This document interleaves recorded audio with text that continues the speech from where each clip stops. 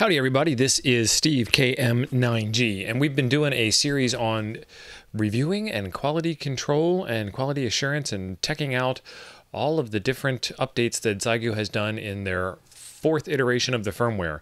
We've gone through them in order until now. I'm going to jump around a little bit, but uh, I got you.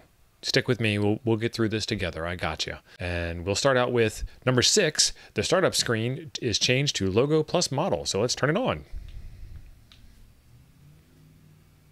Hey, look, logo plus model. Excellent. What this does tell me though is that the logo is actually stored inside of the, I want to say it's in the U-boot image um, on the SD card. So pretty soon we'll be able to have custom boot logos. So be sure to stay subscribed for that one. Uh, increase the maximum output power when externally powered. We are currently externally powered. You can see 13.6 volts here, you can see the external power plug there. All right, so let's turn it up. It it it goes to 10. It's always gone to 10. Increase the maximum output power when externally powered. Increase it to what?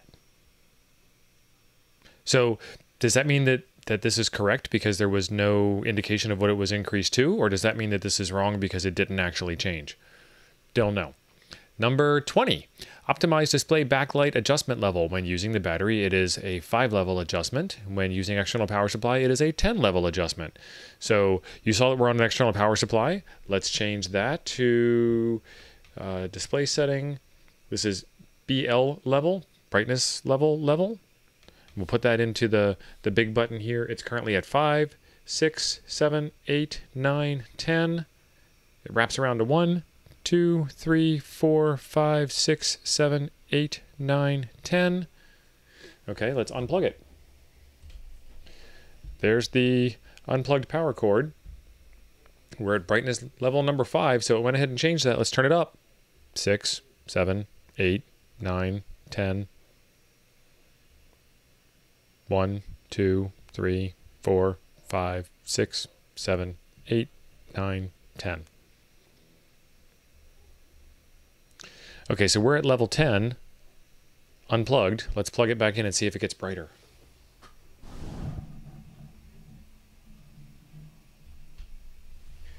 Nope, no change.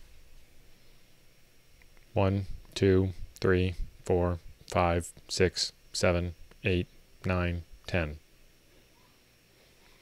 This is my not impressed face. Okay, number eight. Fix the problem that the x-axis label of SWR scan is not updated. Okay, so let's go into app, SWR scan. This is 1 through 10 on this side, and this is... I have the, the tuner on. Let's turn the tuner off. Not that it matters. Can't turn the tuner off while we're scanning turn the tuner off, do the scan.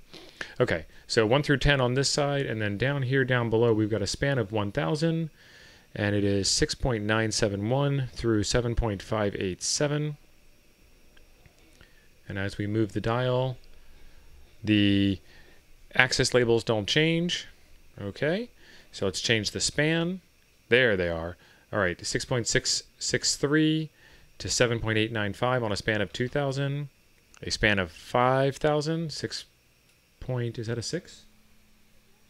5.739 through 8.819, 10,000, 4.199 through 10.359. And then we're back down to span of 1,000. 6.971 through 7.587. And there's there's some stuff before and some stuff after. So, yeah, that axis now updates. Excellent. The bandwidth of the first group of SSB filters is widened to 50 through 2950 hertz. Okay. Let's go, let's exit the scanner. Let's go back to general. Let's go to SSB mode. And let's look at filters. And 27, filter 2. 24, filter 3. 1800, filter 1. It's supposed to be 2.9.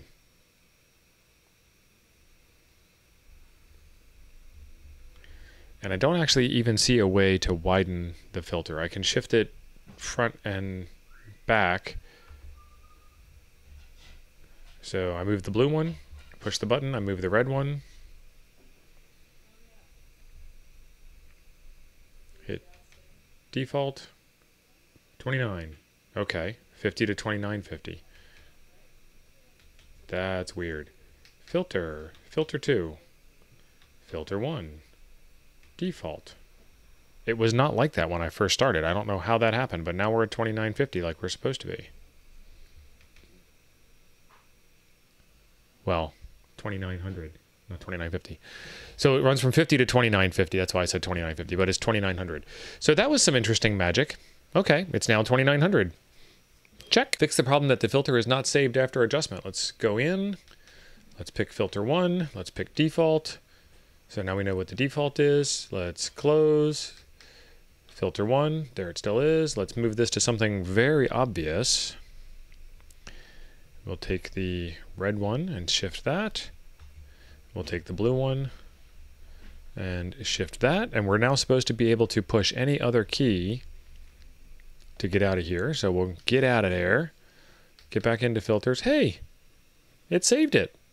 I didn't notice that it didn't save it before, but could you imagine if you went through all the trouble to set that and then exited and it went back to default? Like, what's the point of being able to change the filter if you can't actually change the filter?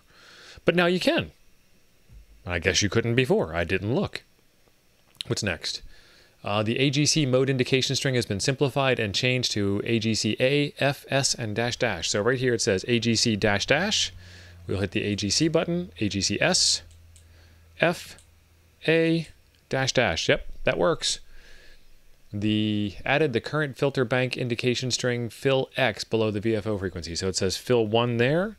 So we do DFL filter two, close. It says filter two. DFL filter 3, close. It says filter 3. DFL filter 1, 2, 3. It changes 1, 2, 3. You don't have to hit close. I just was. I was hitting close. Okay, that works just fine. The LSB dig and USB dig strings have been simplified and changed to LDIG and UDIG. Somebody wrote them a memo. Somebody sent them a strongly worded letter. I bet it was Smoking Ape. You hit SSB and it switches to LDIG USB, US UDIG, LSB, LDIG, USB UDIG. Yep, it, it does the thing. Uh, I don't know why. Maybe that was to make room for the FIL3 word to be there. Could be. Fix the problem that the standing wave meter jumps when there is no power and low power. So rewind the video and look and see if there were any jumps in the SSB meter because that would be a no power setting, SSB, SWR meter, because that would be a no power setting. And then, oh, we'll go back into the SWR scanner. Nope, app, scan. And you can see it moving, but I can't really tell what they mean by little power. I mean, the SWR scanner should be low power, so it doesn't jump, it kind of moves softly. Optimize the NR algorithm. Let's find a good signal. All right, so I played with the noise reduction for a while. It does work. I don't notice a lot of difference, but that's probably just me. And it also just says optimized the NR algorithm.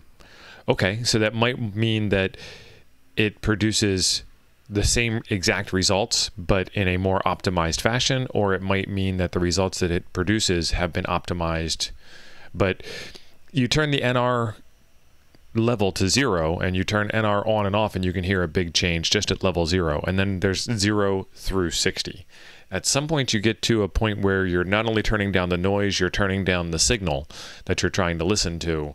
So, but that's that's true of any radio. I do like the NR. It does work. It does work well enough. I don't know that it works good or bad or fantastic because I don't know. That is a thing that's going to be a personal opinion of everybody that uses this radio. There are a bunch of links in the description down below coupons, discount codes, even a discount on this radio right here. There is a video right over there that I think you will enjoy next. Thanks for being awesome.